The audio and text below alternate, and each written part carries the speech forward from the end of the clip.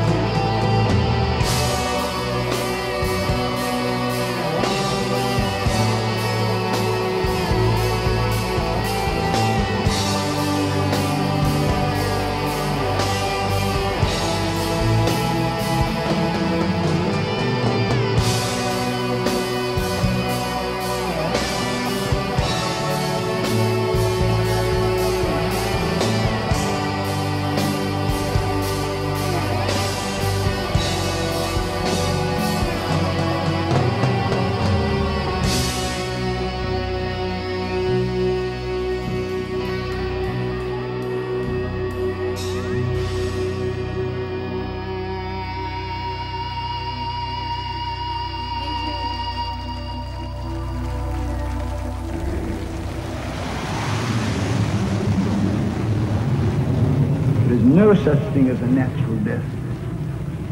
Nothing that happens to man is ever natural. Since his presence calls the whole world into question. All men must die, but for every man his death is an accident. And even if he knows it and senses an unjustifiable violation, we may agree with the words or not. But those are the, are the key string of the Lord of the Rings.